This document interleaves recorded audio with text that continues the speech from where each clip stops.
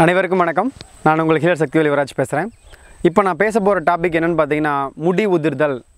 இன்றைக்கி வந்து பெரிய பிரச்சனையாக இருக்குது இந்த சொசைட்டியில் ஆண்களுக்கும் பெண்களுக்கும் எதுனா நம்ம டென்ஷன் ஆகாமல் இருக்க முடியதில்ல டென்ஷன் ஆக நமக்கே தெரியுது டென்ஷன் ஆகாதனால தான் முடி கொட்டுது அப்படின்னு. ஸோ அந்த முடி கொட்டுறதை நம்ம எப்படி தவிர்க்கிறது அப்படிங்கிறதுக்கான விஷயங்கள் தான் இப்போ நான் சொல்ல போகிறேன் நான் சொல்லக்கூடிய விஷயங்கள் ரொம்ப ரொம்ப பெரிய விஷயம்லாம் இல்லை. ரொம்பவும் எளிமையான விஷயங்கள் கிடைக்கக்கூடிய சின்ன சின்ன வீட்டில் இருக்கக்கூடிய சின்ன சின்ன பொருட்களை வச்சு தான் நம்ம வந்து நம்ம ஹேர் ஃபாலை ஸ்டாப் பண்ண போகிறோம் ஸோ இப்போ நான் சொல்ல வர்றது என்னென்னு பார்த்தீங்கன்னா காலைல எந்திரிச்சோன்னு வெறும் வயிற்றுல வெது வெதுப்பான ரொம்ப நம்ம விரல் விட்டு பார்க்குறோம் இல்லையா சூடு வருது இல்லையா?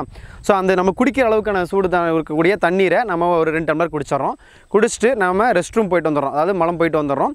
போயிட்டு வந்ததுக்கப்புறம் என்ன பண்ணுறோம் அப்படின்னா நீர் பூசணி இருக்கு இல்லையா? நீர் பூசணியை வந்து சின்ன பீஸ் ஒன்று கட் பண்ணி சின்ன சின்ன துண்டாக அரைஞ்சு கட் பண்ணி மிக்சியில் போட்டு தண்ணி ஊற்றி அரைச்சி வடித்து நாட்டு சக்கரை கொஞ்சோண்டு சேர்த்து ஜூஸ் குடிச்சிடறோம். குடித்ததுக்கப்புறம் என்ன பண்ணுறேன்னா ஒரு forty five minutes to one hour கழித்து தேங்காய் ஒரு அரை மூடி எடுத்துக்கோங்க. கருவேப்பிலை ரெண்டு கைப்பிடிலேருந்து மூணு கைப்பிடி கருவேப்பிலை. இப்போ சின்ன தேங்காய் வந்து சின்ன சின்ன துண்டாக அரைஞ்சு மிக்ஸி ஜாரில் போட்டு கருவேப்பிலையும் கூட நம்ம அது கூட போட்டுடுறோம் போட்டுட்டு என்ன பண்ணுறோம் அப்படின்னா அரைச்சிட்டு அதில் பால் புளிகிறோம் பால் புளிஞ்சிட்டு கருப்பட்டி முடிஞ்ச வரைக்கும் எல்லோரும் கருப்பட்டியை பயன்படுத்துங்க. கருப்பட்டியை வந்து அது கூடவே போட்டு அந்த தேங்காய் பாலை கருவேப்பிலையோடு அரைச்ச தேங்காய் பாலை குடிங்க. குடிச்சிங்கன்னா ரெண்டுலேருந்து மூணு வாரத்துக்குள்ளேயே உங்களோட ஹேர் ஃபால் ஃபிஃப்டி பர்சன்டேஜ் குறைஞ்சிரும். அதுக்கப்புறம் பார்த்தீங்கன்னா இந்த இந்த பாலை ரெகுலராக குடிச்சிங்க அப்படின்னா ரெண்டு மாதத்துக்குள்ளேயும் உங்களுக்கு ஹேர் ஃபால் நின்றும். அதுக்கப்புறம் என்ன பண்ணலான்னா பெண்கள் செவ்வாய் வெள்ளி ஆண்கள் புதன் சனி இந்த ரெண்டு நாட்கள்லையுமே அவங்க கட்டாயம் நல்லெண்ணெய் தேய்ச்சி குளிச்சே ஆகணும். அந்த நல்லெண்ணெய் கருப்பட்டி போட்டு ஆட்டினா நல்லெண்ணெயாக இருக்கணும். இதை மட்டும் ஃபாலோ பண்ணுங்கள் போதும். அதுவும் இல்லாமல் மாதுளை ஜூஸ் ஆண்களாக இருந்தாலும் சரி பெண்களாக இருந்தாலும் சரி மாதுளை ஜூஸ் கண்டிப்பாக கொடுங்க.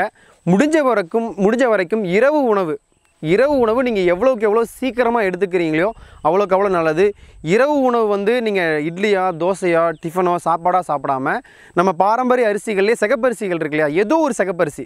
சிகப்பரிசியில் நைட்டு கஞ்சி வச்சு குடிங்க. கூட கீரை காய்கறி பொரியல் சேர்த்துக்கலாம். இதை கரெக்டாக ஃபாலோ பண்ணீங்க அப்படின்னா கண்டிப்பாக உங்களுக்கு ரெண்டு வாரத்துலேருந்து இரண்டு மாதத்துக்குள்ளேயே வந்து உங்களோட ஹேர் ஃபால் கம்ப்ளீட்டாக நின்றுடும் ஓகேவா இதை ஃபாலோ பண்ணிங்கன்னா அப்படின்னா உங்களுக்கு மன உளைச்சல் கண்டிப்பாக குறையும். முடிஞ்ச வரைக்கும் பால் டீ காஃபி தயிர் கம்பல்சரி சேர்த்தாதீங்க. இது சேர்த்தாம இருந்தாலே நமக்கு வந்து முடி கொட்டுறதில் அப்படிங்கிறது ரொம்ப ரொம்ப குறைஞ்சிடும் அப்படி இல்லை சார் நான் கம்பல்சரி டீ குடிச்சே தீருவேன் அப்படிங்கிறவங்க கொத்தமல்லி டீ இஞ்சி டீ துளசி டீ இந்த மாதிரி ஏகப்பட்ட டீ இருக்குது கொய்யாயில டீ மா டீ இந்த மாதிரி நிறையா இருக்குது யூடியூப்பில் நிறைய விஷயங்கள் இந்த மாதிரி சொல்லிட்டு இருக்காங்க நீங்கள் அந்த மாதிரி ஆல்டர்னேட் டீக்கு ஆல்டர்னேட்டிவான விஷயங்கள் நீங்கள் போய் பார்த்து நீங்கள் தெரிஞ்சுக்கோங்க.